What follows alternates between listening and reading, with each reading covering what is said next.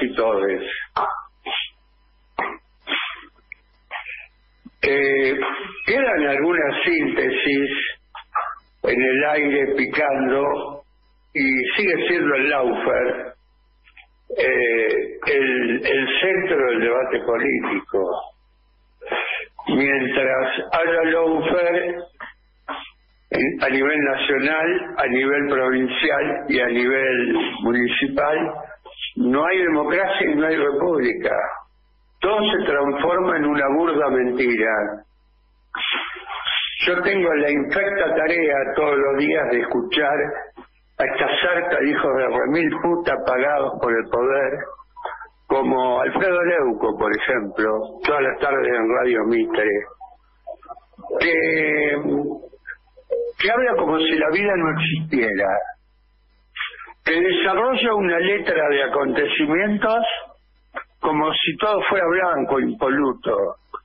Te habla de fallos de la Corte, te habla de independencia del Poder Judicial, eh, te habla de, de 16 jueces que condenaron a Vudú, te habla, te habla, te habla, y no le entra bala, como si la vida no existiera como si los jueces fueran independientes, probos, intachables, insobornables. Y todo está infecto en el Poder Judicial. Un Poder Judicial aristocrático al servicio de los peores intereses oligárquicos, que está parado de manos contra el kirchnerismo porque es obvio, vinimos a construir una alternativa de país que no es la restauración conservadora, es otra cosa, ligada a la democracia económica, a la justicia social, a la igualdad, a la soberanía política, a la libertad, pero a la libertad de verdad. Entonces, estamos en medio de la batalla cultural. Nosotros a la mañana desarrollamos toda nuestra parafernaria de argumentos y ellos repiten como un dogma la letra de Manieto, de Macri, de la Embajada de Estados Unidos, que después ejecuta de la peor de las maneras Carlos Rosencraft. Yo ayer puse un tweet este, y después dije, che, ¿esto no será una brutalidad? No, no será desde el punto de vista de los especialistas del derecho una, una aberración. Puse, oh, los comandantes del Loafer en febrero, basados en condenas truchas, campañas de difamación o este eh, desafueros, campañas truchas, condenas truchas, campañas de difamación y desafuero. Yo cuando hablo de desafuero, algunos me dicen, eh, no sea boludo, Luis. ¿No es que tenemos mayoría en el Senado? También teníamos mayoría cuando lo desaforaron a, a Debido. Y hoy Debido se comió más de un año en cana, entonces yo no subestimo nada. O ganan ellos, y Cristina es en febrero, ¿eh? En febrero, detenida, metida en cana, estamos este, de manera injusta, arbitraria, o nosotros dejamos a estos cinco jueces de la Corte y nombramos seis jueces más y pasamos a ser mayoría.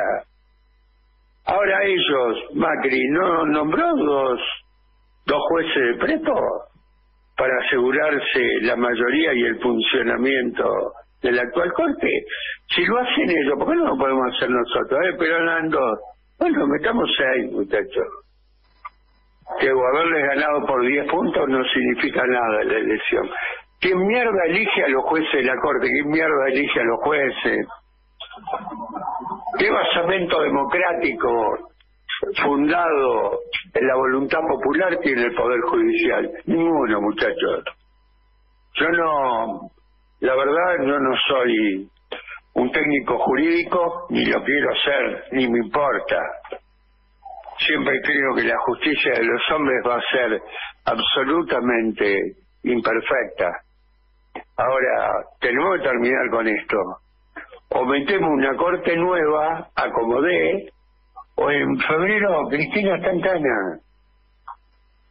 Entonces hay que tomar conciencia, más temprano que tarde. Hay que unificar las estrategias. Hay que salir de esta mirada tonta, ingenua, de creer que las cosas por sí solas se van a se van a desbordar. Miren, hicimos más de 20.000, fuimos a, a la Corte Suprema a decir basta de lawfare. Ahora, con esta corte no termina el lawfare, el lawfare se consolida. Fíjense la denuncia de los, de los maestros y docentes de la capital federal, que ya empiezan a decir, acá en la capital federal, Juan Bautista Maíquez, hace muy poco Maíquez, y toda la familia Maíquez, la misma que maneja el Servicio Penitenciario Federal, la misma que adentro del Servicio Penitenciario eh, tiene negocios formidables, como la obra social del Servicio Penitenciario, la comida de los presos o la cantina de los presos, que factura cuatro millones de pesos por día. Bueno, esos son los Maíquez. Una familia de 13 funcionarios este, que están al servicio de esto, y son militantes del PRO. Juan Tornelli no es un militante del PRO. Digo, ellos, eh, después de, lo que fue el Plan Condor 1, donde el salvajismo de los generales, puestos a matar una generación entera, les provocó un costo político enorme hoy, la verdad, este, con el lawfare tiene una cosa mucho más difícil de explicarle a la sociedad. Estos jueces están al servicio de los peores intereses. El Poder Judicial no tiene un carajo que ver con la independencia necesaria a la hora de llevar adelante la Administración de Justicia. Nada que ver. En el medio hay otros problemas se viene una elección y en el, en el escenario del año que viene empiezo a ver algunas luces. Ellos van a querer meter presa a Cristina en febrero, a más tardar en marzo, y ahí, desde ahí empezar a atacar la economía, asociando o disociando, mejor dicho, pandemia y economía, como si los los graves problemas que tiene la economía no tuvieran nada que ver con la pandemia este, y se producen porque, claro, este, no se hace caso a los paradigmas y a los dogmas de esa doctrina de mierda que ha fracasado en todo el mundo, que es el modelo neoliberal conservador de Milton Friedman. Lo escuchás al pelotudo de Longobardi todas las mañanas y te dices, ¿cómo le van a cobrar más impuestos a los empresarios y a los ricos? Y te lo intentan naturalizar. Pedazo de estúpido, Alemania le está cobrando hoy más impuestos a, los ricos y al empresariado. Estados Unidos está discutiendo este tipo de medidas. Siempre el poder comunicacional hegemónico al servicio de los peores intereses. No, ¿por qué? Porque, bueno, la pauta, muchachos, el dinero que invierten, tipo, a ver, Longobardi es un tipo que no tiene ni siquiera la escuela secundaria, vive como un millonario en el mejor country del norte de la ciudad de Buenos Aires. Entonces, tiene ese nivel de vida porque defienden esos intereses.